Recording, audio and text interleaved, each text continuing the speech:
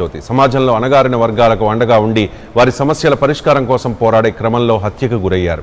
ముప్పై నాలుగేళ్ళ క్రితం విజయవాడ నడిబొడ్డున పేదల ఇళ్ళ పట్టాల కోసం దీక్షలో ఉన్న రంగాను అతి కిరాతకంగా చంపేశారు. చనిపోయి దశాబ్దాలు గడుస్తున్న రంగాను బడుగు బలహీన వర్గాల ఆశాజ్యోతిగా పిలుస్తున్నారు అంటే ఎంతలా రంగా పేదల కోసం పోరాటం చేశారో అర్థం చేసుకోవచ్చు. కానీ కొందరు రంగాను ఒక కులానికి చెందిన నాయకుడిగా ముద్రలేస్తూ ఉంటారు. ఇవాళ వంగవీటి మోహన్ రంగా డెబ్బై ఆరవ జయంతి సందర్భంగా ఆయన చేసిన గొప్ప పనుల్ని ఒకసారి గుర్తు చేసుకుందాం. బడుగు బలహీన వర్గాల ఆశాజ్యోతిగా రంగా చేసిన మంచి పనుల గురించి ప్రస్తావించుకుందాం. అలాగే బెజవాడ బెబ్బులిగా రంగాకు ఆ పేరు ఎలా వచ్చిందో కూడా తెలుసుకుందాం. రంగా హత్యకు కారకులెవరు? రంగాను రాజకీయంగా వాడుకున్నదెవరు? రంగా పేరును వాడుకుని ఆర్థికంగా బలపడిన వ్యక్తులెవరు? రంగా బతికుంటే అణగారిన వర్గాలకు రాజ్యాధికారం దక్కేదా? అనే అంశాలపై వాళ్ళ బిగ్ డిస్కషన్లో డిస్కస్ చేద్దాం. చర్చలో పాల్గొంటున్నారు సింగులూరి శాంతి ప్రసాద్ గారు జనసేన పార్టీ సీనియర్ నాయకులు అలాగే వంగవీటి మోహన్ రంగా అభిమాని. పెద్దిరెడ్డి రవికిరణ్ గారు భారతీయ జనతా పార్టీ మీడియా ప్రతినిధి. ఆంధ్ర తెలంగాణ రాధా రంగా మిత్ర మండలి చారిటబుల్ ట్రస్ట్ అధ్యక్షులు కాళపాలెం బుజ్జి గారు మరి కాసేపట్లో రంగాను ప్రత్యక్షంగా చూసిన వైఎస్ఆర్ కాంగ్రెస్ పార్టీ నాయకులు. శ్రీనివాసరెడ్డి గారు కూడా బిగ్ డిస్కషన్లో మనతో పాటు జాయిన్ అవుతారు. అందరికీ నమస్కారం. Welcome to ninety nine TV. ముందుగా సింగులూరి శాంతిప్రసాద్ గారు మీరు జనసేన పార్టీలో సీనియర్ నాయకులు గతంలో ప్రజారాజ్యం పార్టీలో కూడా చిరంజీవి గారు వెంట నడిచారు. ముఖ్యంగా మీకు రంగా గారు అంటే విపరీతమైన అభిమానం. రంగా గారిని మీరు చూశాను అని కూడా చాలా సందర్భాల్లో చెప్పారు.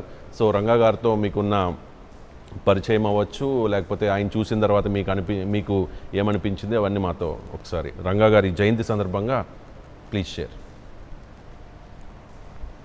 రవిశంకర్ గారు మీకు ప్యానల్లో ఉన్న సోదరులకు మా పెద్ద ఆయన శ్రీనివాస రాబోయే శ్రీనివాసరెడ్డి గారికి చూస్తున్న వీక్షకులకు మీ యాజమాన్యానికి. వంగవీటి మోహన రంగ. బడుగు బలహీన వర్గాలకు ఆశాజ్యోతి ఇతను ఇతను పంతొమ్మిది వందల నలభై ఏడు ఈ రోజున కాటూరు గ్రామంలో సావిత్రమ్మ సీతారామయ్య దంపతులకి ఐదో సంతానం. కానీ ఇతని జీవితం నలభై ఒక్క సంవత్సరాలకి ముగియటం. ఈ నలభై ఒక్క సంవత్సరాల అతని జీవిత చరిత్రలో అతను రాజకీయంగా ఉన్నది ప్రజాబాహుళ్యంలో ఉన్నది కేవలం పద్నాలుగు సంవత్సరాలు. ఇది గుర్తుపెట్టుకోవాలి.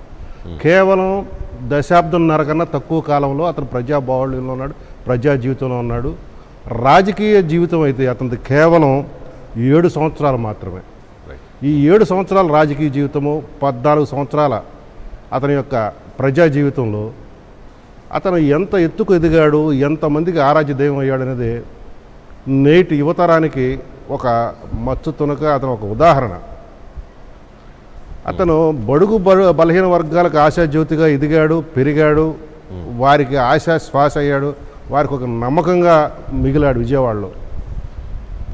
అతను ఎప్పుడైతే రాజకీయంగా అతను మారాడో అప్పటి నుంచి అతనికి శత్రువులు చాలా ఎక్కువగా తయారయ్యారు. ఆనాటి తెలుగుదేశం ప్రభుత్వం రావటం ఇతని ప్రత్యర్థులు తెలుగుదేశం పార్టీలో చేరటం రా రాజకీయ ప్రత్యర్థులు ఇవన్నీ కూడాను రెండోది ఇతను అప్రతిఘాతంగా ఇతను ఎదుగుతున్న తీరు అతి తక్కువ సమయంలో హిమాలయం అంత ఎత్తు ఉమ్మడి ఆంధ్ర రాష్ట్రం ఈరోజు ఇక్కడ కాదు ఉమ్మడి ఆంధ్ర రాష్ట్రంలో ఎదుగుతున్న తీరు. ఆనాటి అధికార పార్టీకి నిజంగా చాలా భయం గొలిపింది కాంగ్రెస్లో ఉన్న నాయకులకు కూడా భయం గొలిపింది. ఎందుకంటే ఇతను ఈ రకమైన అప్రతిఘాతంగా ఎదిగితే తమకు అడ్డొస్తాడో రేపు భయం. ఎందుకంటే ఆ రోజుల్లోనే ఇతను హోంమంత్రి స్థాయి అనేవాళ్ళు.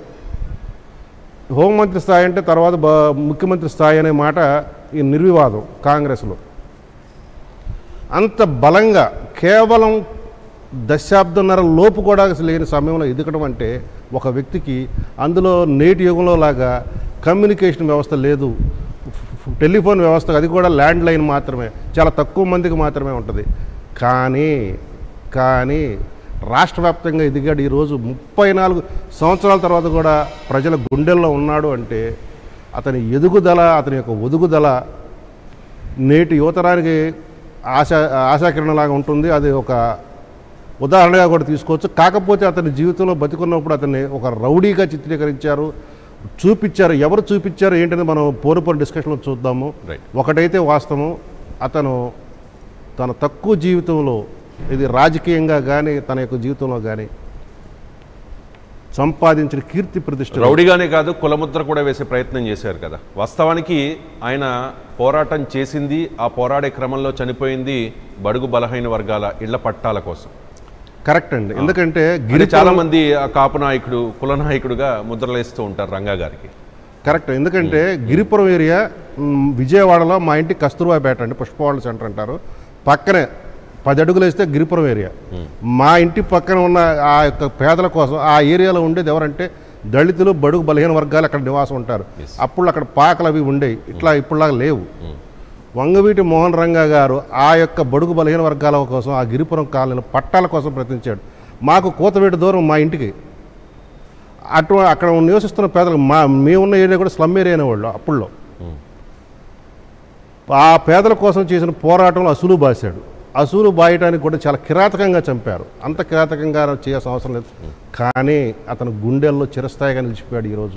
మీరు ఎప్పుడు చూశారు రంగా గారు నాకు తెలిసి చనిపోయే రెండు రోజుల ముందు చూశానని గతంలో చెప్పాను రంగా గారు చనిపోయేటప్పటికి మేము లా సెకండ్ ఇయర్ చదువుతున్నాము. ఓకే మా నా క్లా కొలీగ్ నూతక్ ఉదయ్ కుమార్ అనే అతను మాతో పాటు చదివిన అతను ఆ రోజు పుంజల శివశంకర్ గారి కుమారుడు సుధాకర్ రెడ్డితో పాటు ఆ చనిపోయే రోజు దీక్షలో కూర్చోవాలి మద్దతుగా రంగా గారికి. మేమందరం కూడా లా కాలేజీ విద్యార్థులతో ఒక ప్లాన్ చేసుకున్నాం. మనవాడు కూర్చున్నప్పుడు సుధాకర్ రెడ్డి కూడా వచ్చినప్పుడు రంగా గారికి మద్దతుగా మనం ర్యాలీగా వెళదాం. న్యాయవాద విద్యార్థులందరూ సిద్ధార్థ లా కాలేజీలో చదువుతున్నాం అప్పుడు మేము విజయవాడ.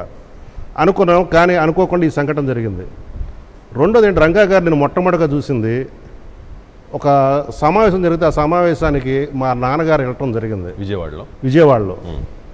రంగా గారు అంటే చాలామందికి ఎవరు ముఖ చిత్రం చూడలేదు ఆయన ఎట్లా ఉంటాడో ఎవరికీ తెలియదు ఆయన అంటే అప్పుడులో ఉన్న సినిమాల ప్రకారం ఒక గళ్ళలుంగి బన్నీను బొడ్లో కత్తి అన్న బోరమేసాలు ఉంటాయి అన్న ఊహాచిత్రాలు ఉండేవి రంగా గారు చూసిన ఎవరు కూడాను ఆయన్ని అసలు ఈయన రంగా గారు అంటే నమ్మేవాడు అప్పుడు మా నాన్నగారు ఆయనకి ఇచ్చిన చిన్న సలహా ఏంటంటే ఆ సమావేశంలో అయ్యా మిమ్మల్ని చూడటం ఇదే మొదటిసారి మీరు మిమ్మల్ని చూడకముందు మాకు వేరే చిత్రం ఉండేది.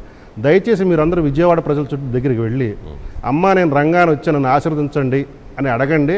అసలు రూపురేఖలా మారిపోతే ప్రజల యొక్క మనసులో ఉన్నది అని అనేటప్పటికీ ఆయన ఎమ్మెల్యేగా పోటీ చేసినప్పుడు విజయవాడ ఈస్ట్ కాన్స్టిట్యూన్సీలో మా ఇల్లు ఉండేది. ఆయన ఇంటికి వచ్చి ఇలా నమస్కారం పెట్టి అమ్మ నేను వంగవీటి మోహన్ రంగాన్ని వచ్చాను నన్ను ఆశీర్వదించనంటే ఇంటింటికి హారతులు పట్టారు. ఇంటింటిది ఆ- ఆడపడుచులు కాళ్ళు గడిగారు బిందెలతో నీళ్ళు తీసుకొచ్చి ఆయనకు తిలకం బొట్టు దిద్దారు. ముఖం అంతా ఆ బొట్టుతో ఎర్రగా అయిపోయింది సామాజిక వర్గం నాట్ ఓన్లీ ఆయన సామాజిక వర్గం అసలు సామాజిక. వర్గం. మేము నేనున్న ప్రాంతంలో చాకలి మంగలి కాపులు ఇతరత్ర కులస్తులు ఎక్కువ అండి అసలు అక్కడ కాపులు ఉండరు ఎక్కువ. నాలుగైదు కుటుంబాలు ఉంటాయి. మిగతా అన్ని కూడా బీసీ వర్గాల కులాలు ఉంటాయి. ఆయన మొహం ఆ తిలక కుంకుమ బొట్టుకి మొహం అంతా ఎర్రగా అయిపోయింది నుంచునేవాడు అమ్మ నేను వచ్చాను మంగవీటి మోహన్ రంగాన్ని నన్ను ఆశీర్వదించండి. ఇదే మాట. ప్రజల గుండెల్లో పాతుకుపోయాడు. ఎంత పాతుకుపోయాడంటే ఈరోజు అతను తీయాలన్నా కూడా తీయలేనంత ఇదిగా పాతుకుపోయాడు. వచ్చే యాభై సంవత్సరాలు కూడా అతను ఇంకా జనాల గుండెలో ఒక వ్యక్తి చనిపోతే రేపటికి రెండు అంటారు కదా పెద్దలు. ఇవాళ చనిపోతే రేపటికి రెండు అని చెప్పి. ఒక వ్యక్తి చనిపోయిన తర్వాత ముప్పై నాలుగేళ్ళు అయిన తర్వాత కూడా అంటే క్రమక్రమంగా ఏడాదికి ఏడాదికి ఆయన చరిష్మా పెరుగుతోంది. అంతే కదా. ఇప్పుడు ఎవరైనా చనిపోతే ఆయన మర్చిపోతారు. చాలామంది ఉన్నారు వాళ్ళ పేర్లు ఎందుకు కానీ చాలామంది చనిపోయిన తర్వాత ఏళ్ళు గడుస్తున్న కొద్దీ వాళ్ళందరినీ మర్చిపోయారు కనుమరుగైపోయారు ఎప్పుడో గుర్తు చేసుకుంటూ ఉంటారు జయంతికి వర్ధంతికి. అలా కాదు. వంగవీడి మోహన్ రంగ గారు అంటే ఆయనకు అంటే కులాలకు అతీతంగా మతాలకు అతీతంగా పార్టీలకు కూడా అతీతంగా ఆయనకి ఫ్యాన్స్ ఉన్నారు. రైట్ సార్ మిగిలిన వాళ్ళతో కూడా మాట్లాడదాం. కాళపాలెం బుజ్జి గారు ఉన్నారు. రాధా రంగా మిత్రమండలి చారిటబుల్